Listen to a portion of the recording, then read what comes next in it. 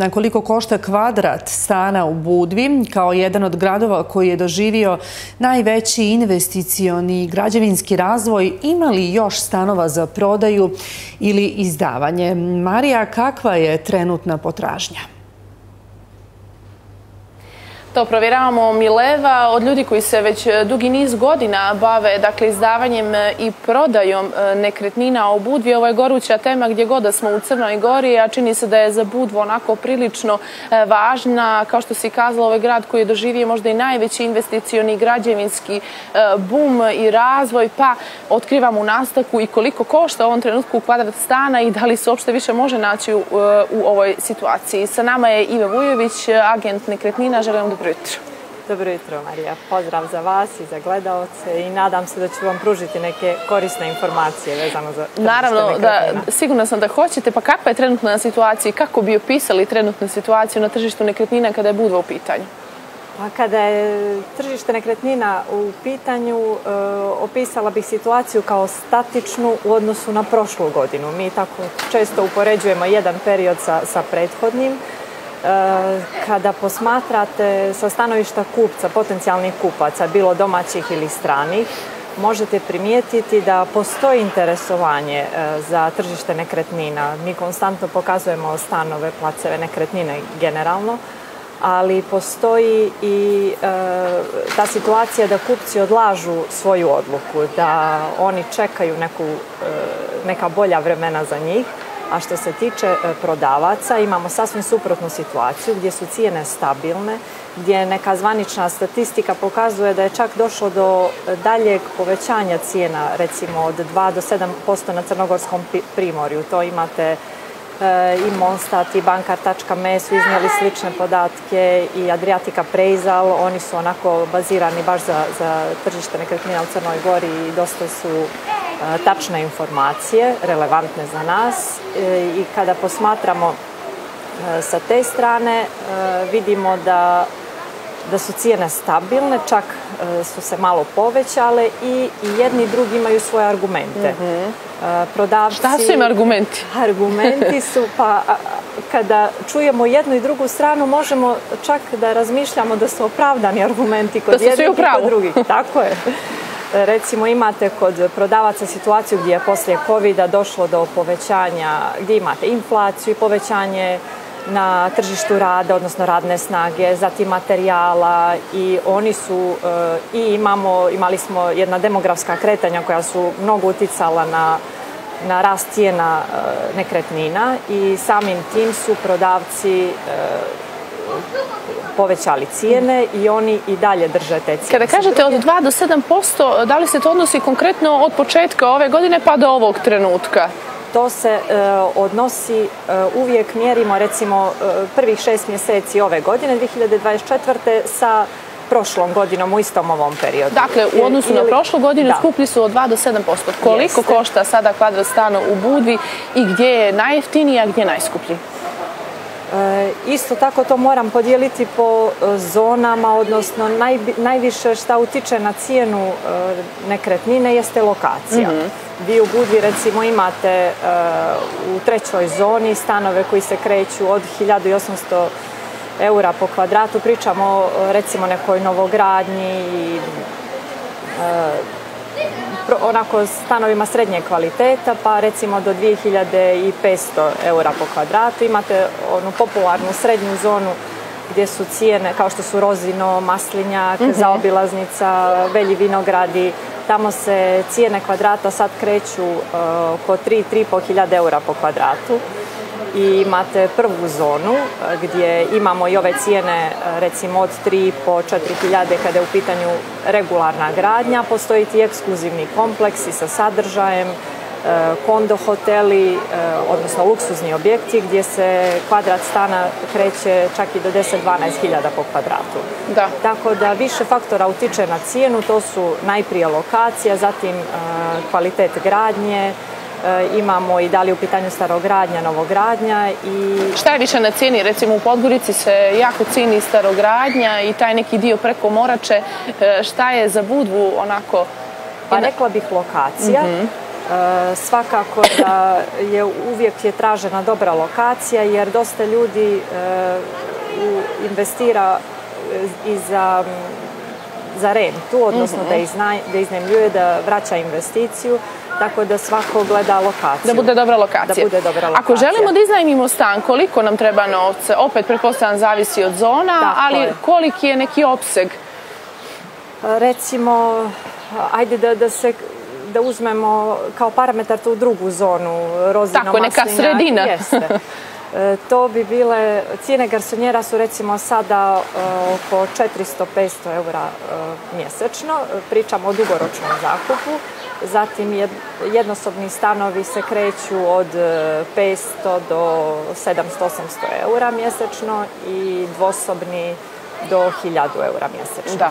Ko su najčešće vaši klijenti? Vi ste pomenuli da je jedno, da je jedno demografsko kretanje, znamo svi da je to dolazak Rusa i Ukrajinaca, znatno uticao na brojne aspekte života, pa naravno odrazio se i na ono čime se vi e, bavite. Ko su sada vaši, da kažemo, klijenti? Ko iznajmljuje? Ko kupuje stanove?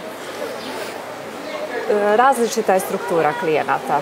Mislim da generalno Crna Gora više nije destinacija koja je samo otvorena za određena tržišta ili gdje zavisimo konkretno od jednog tržišta. E, mi imamo kupce iz Crne Gore i imamo iz Srbije, iz regiona, ali isto tako imamo i kupce, e, vidimo sad da je sa turskog tržišta jedno veliko interesovanje za Crnu mhm. Goru, zatim Njemačka, Skandinavija, ta srednja Evropa, Francuska također, iz Velike Britanije, isto sve više imamo upita. Naša dijaspora je uvijek zainteresovana za nekretnine na Primorju. Eh, jugoslovenska dijaspora za, koja živi vani. vani. E, tako da je različita struktura i, i raduje me to što smo otvoreni za više tržišta, što nismo kao u, prošlosti samo vezani za, za par tržišta. Koliko se situacija promijenila nakon velikog broja odlazaka Rusa i Ukrajinaca? Evidentno je da onako kako smo e, primijetili njihov dolazak, da se osjetilo i da su pošli. Jeste. Šta se promijenilo na tržištu nekretnina od tada? Na tržištu nekretnina, definitivno je to uticalo e, na formiranje cijena posljednje tri godine. E, mi možemo da primijetimo da e, kako i u prodeji, tako i renti imamo enormne razlike između 2019. godine recimo i 2023. Pa evo vi u 2019. Eh, ista ova naselja koja pominjem Rozino, Maslinjak, zaobilaznica, dakle, da se ne ponavljam, da. Mhm. Eh, imali ste cijenu kvadrata 1650-1850 po kvadratu novogradnja. Sada imamo eh, cijenu kvadrata za iste te stanove od 3000 do čak 3300 po kvadratu. To je neminovno ogroman skok bio za, na tržištu nekretnina. sada možemo primijetiti da je došlo do određene stabilizacije. E, jako je teško predvidjeti čak i mnogo veći znalci od mene e, sa sigurnošću mogu reći šta će se desiti sa, sa cijenama. I to je ono što sve zanima. Može li se barem očekivati stabilizacija, svi se nadaju snižavanju cijene. Evo sada ste kazali koja je to razlika u odnosu na 2019. godinu. Pretpostavljam da se to više neće vratiti na isto. Ali možemo li se nadati u nekom narednom periodu? Znate, ono ima, imaju neke prognoze pa kažu možda je najbolje gledati na jesen stan. Ima li to, ima li to zaista neko uporište u praksi?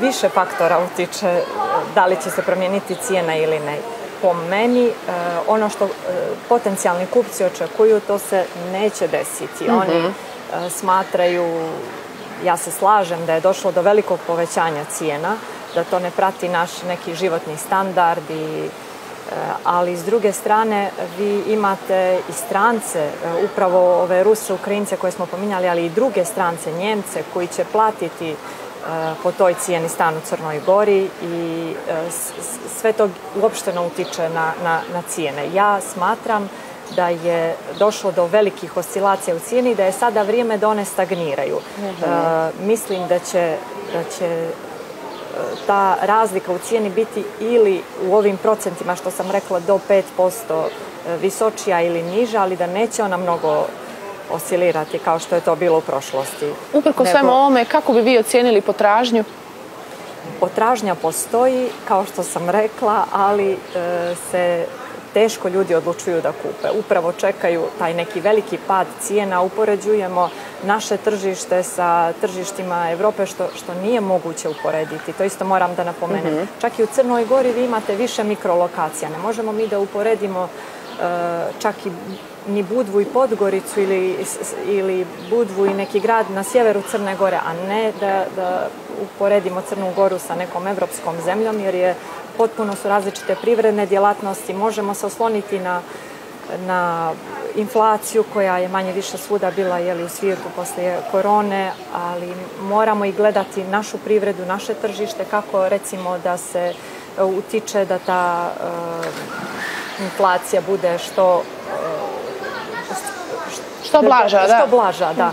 Zatim da, da se donesu neke mjere, da vidimo kako da um, Prepostavljam da je to već sada korak koji se odnosi na državne neke organe i oni bi tu trebalo. Jeste. Banke isto su uh, jedan veliki faktor koji utiče na cijene. Vidim da uh, imamo neke interesantnije ponude od strane banki da će doći do uh, sniženja kamatnih stopa što utiče na kategoriju kupaca za stambene kredite ili za neko investiranje. To će svakako da podspješi taj dio privredne djelatnosti, tako da moramo imati aktivnu, eh, aktivne privredne aktivnosti, mora inflacija, eh, svako demografsko kretanje će svakako da utiče na Crnu Goru, mi smo mala zemlja, da, I zato je teško predvidjeti šta će biti kod nas. Mi ne možemo da se oslonimo kao što to Njemačka može ili Velika Britanija. Mi smo mala sredina i jako smo podložni raznim uticajima. I eto za kraj, tako i sa strane.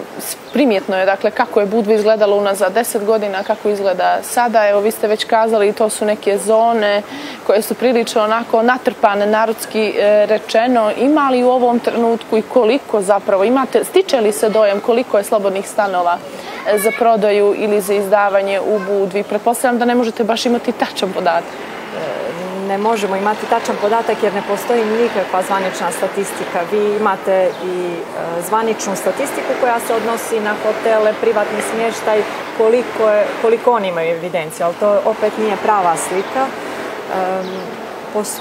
mogu da, da kažem da su stanovi duže na tržištu nego prije, recimo od prošle godine ili 2022. ako bi uh, ako bi imali neki novi listing, onda bi po realnoj cijeni stan za par mjeseci, taj stan više ne bi bio na tržištu, mhm. recimo to bi bilo do tri mjeseca.